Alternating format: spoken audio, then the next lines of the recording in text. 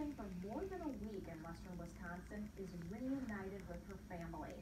Thanks to help from community members, a Kenosha couple is in the right place at the right time to find their lost dog. WEAU's Zach Proletsky shares the tail-wagging reunion.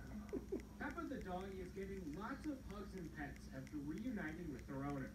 Javier and Gail Gonzalez got their six-year-old Australian cattle dog back Thursday Yeah, she's a good girl. after more than a week of searching. They're from Kenosha, but were camping in Lake Wissota when they think Pepa took off after hearing a gunshot. We were pulling back into our campsite when a couple of other campers came running over and said, your dog just ran by. And we had seen something go streaking by and we said, oh, no, no, she's in the back seat. So we turned around and she wasn't in the back seat. For the next 10 days, the couple stayed in the park looking for Pepa. They put up flyers, took the help of other campers willing to search, and they even used a drone. we kind of gave up yesterday. We said, man, nothing is working. We were just thinking about going home and hope for the best. And uh, when we were almost out of the park, the phone rang, and somebody reported seeing the dog in uh, Cadott. Cadott.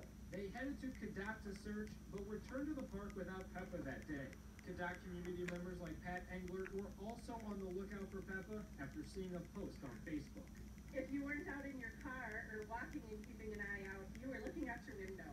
The vet clinic, the post office, um, the police station, neighbors, everybody was kind of, kind of looking. Lori Grace first spotted Pepa outside her house, then began following her. The dog's like in the road, so I was worried about getting hit. So we jumped in the car. But it was Gail and Javier 11 days after Pepa first ran off, they made another drive to Cadott and found her on a roadside.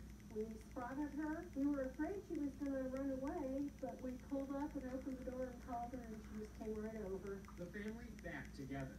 I think my heart stopped beating. Exciting news as well for those community members who helped.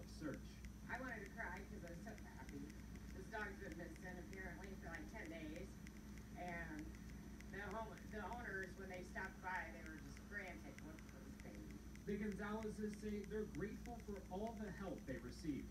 In the midst of such a rough time, it has been incredible to be surrounded by people who are so kind and caring, and we want to say thank you. After many sleepless nights, Emotionally draining. Really. they're happy to be home in Kenosha with Pepa by their side, with good news for their children.